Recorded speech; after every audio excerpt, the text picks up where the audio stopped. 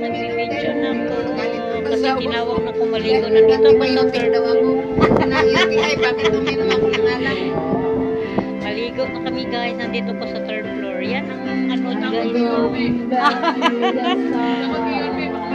Ito yung pababa. May umakyat naman dito. Yung dyan sa ilalim may swimming pool.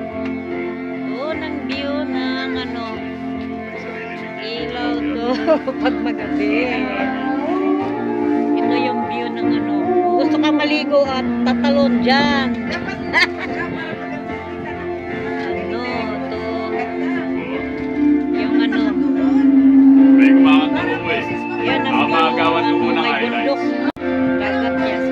Mamaya pag mag-uwi kami, sasakay kami ng ganyan, oh.